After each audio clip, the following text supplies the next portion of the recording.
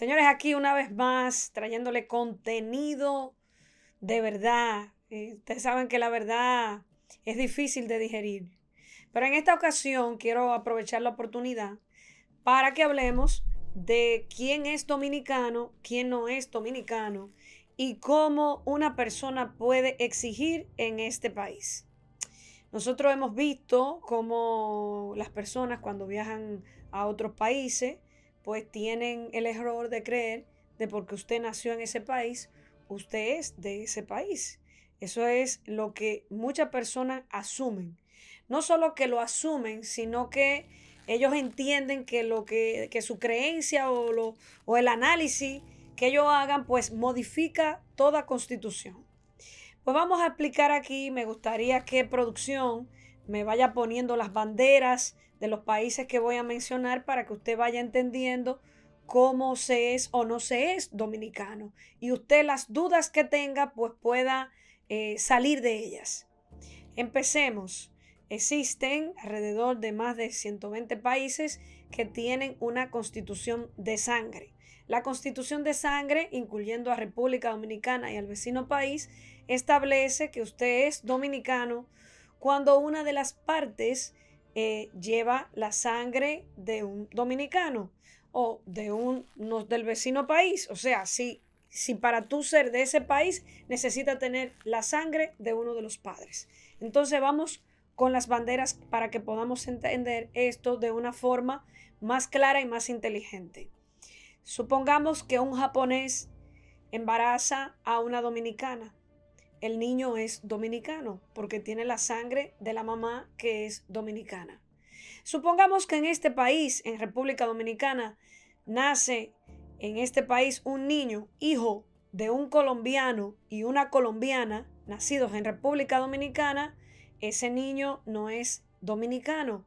Hay que ir a la embajada de Colombia a tramitarles los papeles a ese niño para que su embajada haga la diligencia de extraer el acta de nacimiento de ese niño que va a ser un ciudadano colombiano con registro dominicano. Ahora bien, para aquellos que tienen esa gran duda, ¿y qué pasaría si? ¿Qué pasaría si dos dominicanos, una mujer y un hombre, van al vecino país y tienen un niño de aquel lado?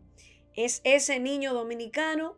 Pues claro, que ese niño es dominicano. Lo que no es es del vecino país, porque ese niño al nacer de aquel lado es hijo de padres dominicanos, pero la constitución del vecino país es una constitución de sangre, que para que ese niño pueda ser un nacional del vecino país, ese niño tiene en su defecto que tener la sangre de uno de los padres y en este caso, si son los dos dominicanos, mamá y papá, naciendo de aquel lado de la, isla, entonces esos, ese niño no es dominicano.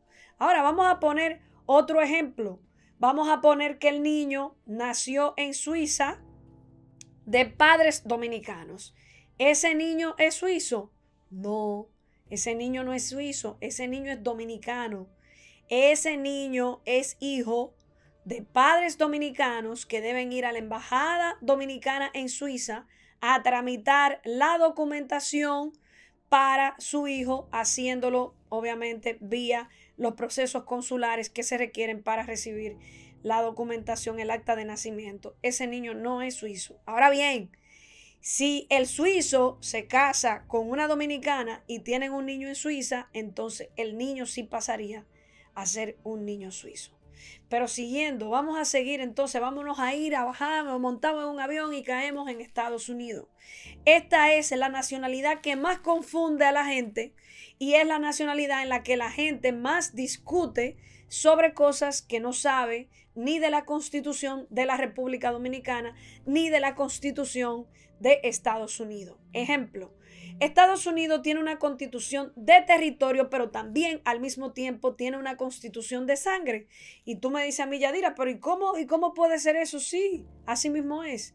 O sea, nosotros solo tenemos una constitución de sangre, aunque en un momento nuestros pillos que han gobernado han hecho de todo y las injerencias internacionales que no han, eh, han entrado aquí al país y han hecho de todo con diferentes invasiones, han hecho de todo con nuestra constitución y obviamente finalmente la tenemos de sangre. ¿Qué sucede a nivel de Estados Unidos? Si un americano embaraza una mujer dominicana en territorio dominicano, ¿es ese niño americano?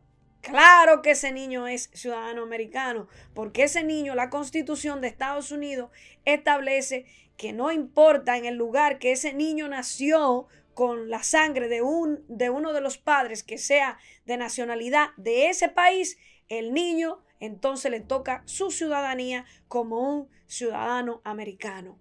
¿Y qué sucede si en Estados Unidos dos chinos tienen un hijo en Estados Unidos? Sí, es americano. Claro que ese niño es ciudadano americano, porque en ese país, al tener la constitución de territorio también, pues te dice, oye, todo el que nazca en mi país, en ese país, entonces le corresponde la nacionalidad eh, norteamericana o más bien se puede decir la, la nacionalidad estadounidense. Y eso puede ser si en Estados Unidos se casa un chino con un japonés, se casa un, un, un, palestino con un iraní. O sea, no importa de la nacionalidad, un chileno con un español, un dominicano con un ruso, no importa. Con la nacionalidad que sea, en, para ese país si tú naciste en ese país, tú eres un ciudadano estadounidense.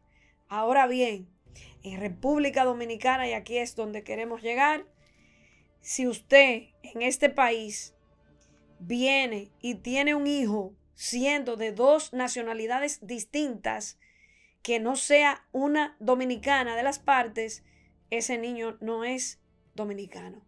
Si aquí dos chinos tienen un hijo, ese niño no es dominicano. Si aquí dos vecinos del vecino país tienen un hijo y tienen los dos la misma nacionalidad de aquel lado, ese niño no es dominicano.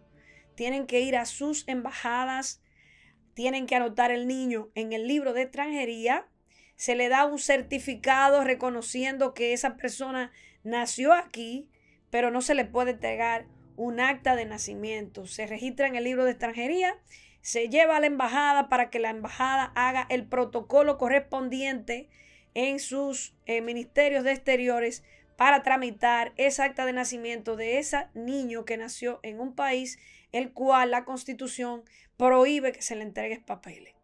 Ahora, ¿qué están haciendo estos organismos internacionales? Estos organismos internacionales están haciendo injerencia porque están diciendo que todas las parturientas que están llegando a la República Dominicana a parir muchachos a diestras y siniestras, estos organismos internacionales están presentando esto como un tema de apátrida, que los niños se quedan en el aire, que no hay forma como los niños puedan ser tramitados. Pero, señores, el vecino país tiene una constitución y es muy clara, es una constitución de sangre. Además, desde hace 200 años, ese país no le entrega documentos a sus nacionales eh, eh, eh, habitantes, no le entrega documentos. Entonces, ¿cómo nosotros podemos darle documento a personas que su propio país no quiere entregarle documento? ¿Alguien me podría explicar eso? ¿Cómo nosotros podemos garantizarle a toda esa persona lo que nosotros no le estamos garantizando a nuestra gente? Aquí hay un montón de dominicanos que no pueden inscribirse en las escuelas porque tienen problemas con las actas de nacimiento. Aquí hay un montón de gente que no puede viajar a Estados Unidos porque tiene problemas con una cédula. Aquí hay un montón de gente que no puede inscribirse en la universidad, ni siquiera porque tiene situaciones que tienen que ver con procesos en su acta de nacimiento o en su cédula o en su pasaporte. Entonces nosotros en lugar de enfocarnos en arreglar nuestros propios problemas, estamos abogando por arreglar problemas de otra nación que realmente nosotros ni siquiera podemos con los nuestros, mucho menos podemos cargar con los problemas ajenos. Ahora, quiero explicarle algo a, a los ciudadanos. Para usted ir de aquel lado y hacer vida de aquel lado, usted no puede ser una carga para ese país. Usted tiene que tener o visa americana o usted tiene que tener visa del vecino país, usted tiene que tener un seguro internacional porque ellos mismos te dicen a ti que tú no puedes ser una carga para su país. Ahora, la diferencia entre ellos y nosotros es que ellos en su país están haciendo valer sus leyes, ellos en su país hacen valer su constitución y nosotros en nuestro país ni estamos haciendo valer nuestras leyes, pero mucho menos estamos haciendo valer nuestra constitución. Espero que esta información educativa la pueda usted abrazar, la pueda usted tener, se la pueda aprender y también la sepa defender.